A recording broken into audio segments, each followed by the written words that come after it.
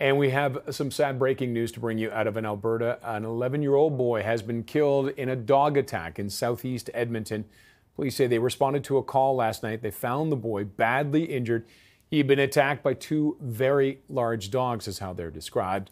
There are reports the dogs belong to a person who lives at the home where the child was visiting. The two dogs have been seized by animal control. Stay with us. We're back in a moment.